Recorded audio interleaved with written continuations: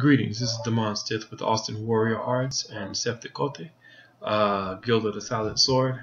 Um, sorry, I've been away for a while.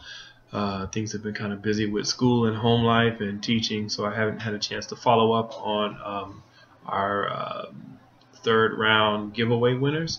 Uh, so I'm hoping to make up for that right now. So um, if you guys don't remember, I posted a really long ass video and um, um, kind of airing out some things, and um, I was doing a double giveaway, one for uh, the people that the normal giveaway for people that respond um, to the videos, and then I was also giving a giveaway for my uh, Patreon um, patrons on Patreon um, who are supporting the work that we're doing. So I want to go ahead and do that real fast. I'm going to start off with uh, the YouTube subscribers since there were so few of those few of you guys that actually watched the video. I get it, it was a long video, and um, some of you probably just didn't really make it through to the end. But for those guys who actually um, did sit through at least part of it, enough of it to see that we were doing a giveaway and leave a comment, I want to give you a little bit of respect. So this is Joaquim Samido and Andreas Mahieu. Those are the only two. So I'm going to take these two names, place it here in the bucket of Folgers here. Boom bucket of Folgers. Shake it, shake it, shake it, shake it, shake it, shake it up. Mix it, mix it up. Alright, here we go. Drum roll, please. Alright, this is going to be for our YouTube subscribers. The winner for the Takoba uh, Tuareg style training sword uh, made out of high density polyethylene is going to go to Andreas Macu. I don't know if you can see that. Andreas Macu. So if you will send me uh, a, a, personal message um, with your mailing address, and remember if you live inside the United States, it's easier for me to ship things to you. Um, if you live overseas, then um, we can do uh, one or two things.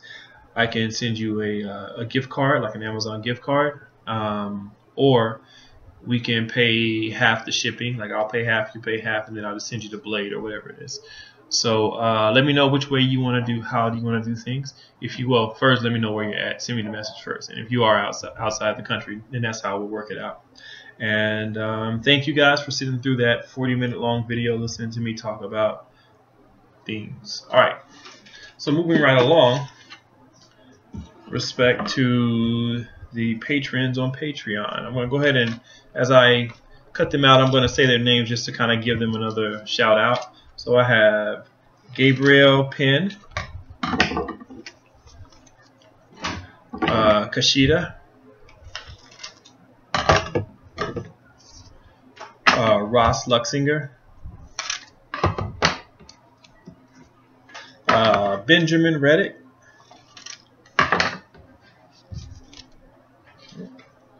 uh, Phil Canzano, Seth Barton,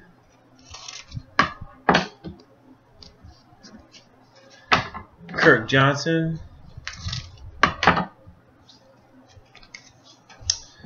Stant Latour. Need to work on pronouncing your last name. Sorry, Stant. Uh, Daniel Davis.